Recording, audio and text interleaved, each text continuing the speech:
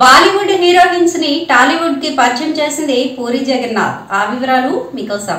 Dashing director puri Jagannadh సినిమాలో heroine అంటే ఖచ్చితంగా ఫ్రెష్ ఫేస్ అయి ఉండాలి. ఆయన ఎప్పుడు కొత్త భామలకి పెద్దపీట వేస్తారు. అందమైన ముంబై మోడల్స్ని దిగుమతి చేయడం పూరికే చెల్లింది. హీరోయిన్ల ఎంపిక విషయంలో పూరి టేస్ట్ చాలా ప్రత్యేకమైంది. పూర్తిగా పూరి కంటెంట్కి కంఫర్టబుల్గా ఉండే వాళ్ళని తీసుకుంటారు. సౌత్ భామల వైపు తెలుగు హీరోయిన్ల వైపు పూరి చూడరు. తన సినిమా పూర్తి స్థాయిలో ప్రాజెక్ట్ చేయగల సత్తా ఉన్న వాళ్ళని ఎంపిక చేసుకుంటారు. బద్రి దగ్గర నుంచి లైగర్ వరకు పూరి సినిమాల్లో దాదాపు ముంబై హీరోయిన్లే ఎక్కువ మంది ఉంటారు. పూరి తొలి సినిమా బద్రిలో ఏకంగా ఇద్దరు ముంబై భామల్ని హీరోయిన్లుగా తెలుగు తెరకు పరిచయం చేశారు. వాళ్ళే షా పటేల్ రేణు దేశాయ్. ఆ సినిమా సక్సెస్తో ఆ ఇద్దరికి మంచి పేరు వచ్చింది కానీ ఇక్కడ హీరోయిన్గా కొనసాగలేదు. ఆ తర్వాత ఇట్లు శ్రావణి సుబ్రహ్మణ్యం సినిమాతో తను రాయ్ని హీరోయిన్గా పరిచయం చేశారు. ఆ సినిమా పెద్ద సక్సెస్ అయింది కానీ తాను రెండు మూడు సినిమాలతోనే నిష్క్రమించింది. ఇక ఈడియట్లో యువత గుండె గుండెలు కొల్లగొట్టింది రక్షిత.